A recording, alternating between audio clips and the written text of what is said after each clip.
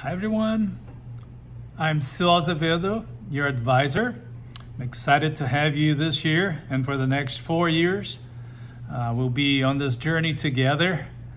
Uh, I love being a, an advisor. Uh, we just um, I just graduated one group that's going out to college. That's one of the fun things. We get to know each other, and uh, I'm along for the ride with y'all for these four years. So when it comes time for you to choose a college when you're a junior, which is going to come faster than you think. And I'm there to help you with that and help you uh, succeed in school. I'm your advocate, which means that I'm on your side.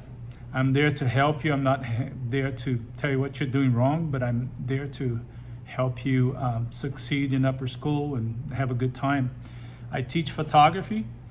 Uh, I'm also the tennis uh, varsity boys tennis coach and um, the soccer coach for boys um, JV.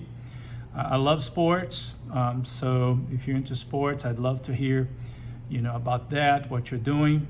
Uh, I love the arts. I love school, so I'm sure we're going to have a great time. I mean, I this uh, class that I just graduated, I don't recall one bad moment. We just had a great time.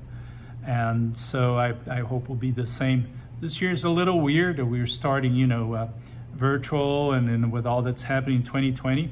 But uh, soon, you know, sooner than we expect, I think things will be back to normal.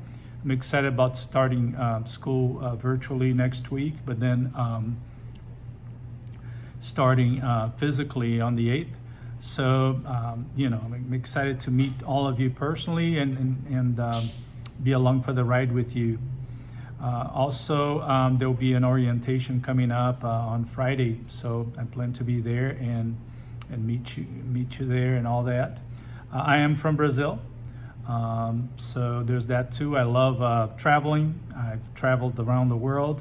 I, a lot of my students have uh, done a lot of uh, internships abroad and stuff like that. So I'll be encouraging that. And um, again, anything that you need, I'm here to help you. And we'll be in touch soon. Take care.